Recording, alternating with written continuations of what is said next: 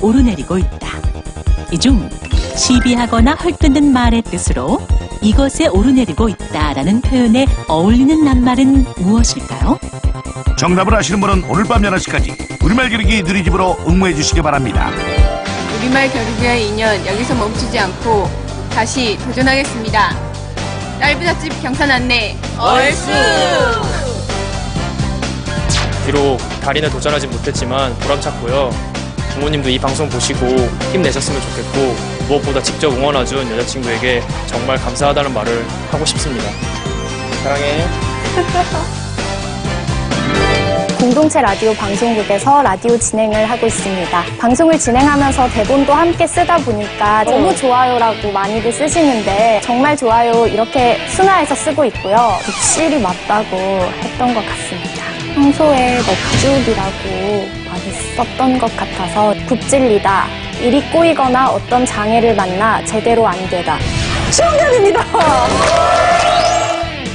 도전은 나의 힘, 우리말은 내 운명. 아자! 울찬 우리말 내공으로 달인까지 가자.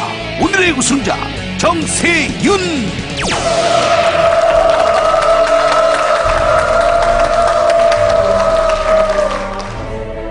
오늘의 최종 우승자 정세윤 씨입니다. 아, 아까 세 분이 치열하게 마지막에 문제를 푸셨는데 우승하고 올라오셨어요. 어떠세요? 어, 여기까지 온 것에 대해서 일단 기분이 정말 좋고요. 어, 저한테 좀 운도 약간 따랐던 것 같습니다. 어, 방송 출연 전에요. 5단계 문제 준비를 굉장히 열심히 하셨다고 하던데. 출연하기 전에 한 5일간 집 밖에를 나가지 않고요. 어, 다시 보기를 하면서 도전자보다 10점을 풀이를 1초라도 더 빨리 푸는 연습을 하곤 했습니다. 사실 그게 편집까지 된 거라서 1초라도 빨리 푸는 거면 정말 빨리 푸시는 건데요. 다 푸셨어요, 1초라도 빨리. 아니요, 한 반 정도는 풀 수 있겠는데요. 또 못 푸는 문제들도 있어가지고 또 그런 문제들을 중점적으로 공부를 했습니다. 알겠습니다. 자, 정세윤 씨, 오늘 정말 치열한 접전 끝에 우승하셨고, 이제는 제 31대 우리말 달인에 도전하게 됩니다. 31대 우리말 달인이 되면요, 총 3,175만 원 상금 획득할 수 있습니다. 준비된 15문제를 풀어야지 달인이 될 수 있거든요. 준비된 문제판 보여주시지요. 네. 자, 여기 있는 15문제를 모두 맞히시면 됩니다. 하나하나 풀어나가 보지요. 첫 번째 문제는 세로로 이음절입니다. 이것은 바늘처럼 뾰족하게 돋친 것을 이르는 말입니다.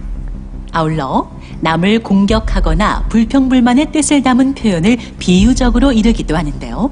흔히 이거가 돋다, 이거가 박히다의 꼴로 쓰이는 이 낱말은 무엇일까요? 가시, 가시 맞습니다.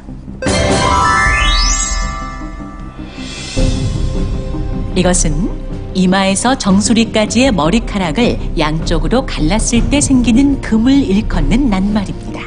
이 말은 무엇일까요? 가르마, 가르마 맞습니다. 이것은 대나무 말을 타고 놀던 벗이라는 뜻으로 어릴 때부터 같이 놀며 자란 친구를 일컫는 말입니다. 이 사자성어는 무엇일까요? 중마고우, 중마고우 맞습니다. 어떤 일을 이루기 위해서 몹시 애쓰는 힘을 두고 안간 힘이라고 하죠. 이와 비슷하게 죽기를 각오하고 쓰는 힘을 뜻하는 고유어가 있습니다. 그는 국가대표가 되기 위해 이것을 다해 훈련했다의 꼴로 쓸 수 있는 이 낱말은 무엇일까요? 죽을 힘, 죽을 힘 맞습니다. 속담 문제입니다. 넓은 세상의 형편을 알지 못하는 사람을 비유적으로 이르는 말이 있는데요. 동물에 빗댄 이 속담은 무엇일까요? 우물안 개구리, 우물안 개구리 맞습니다.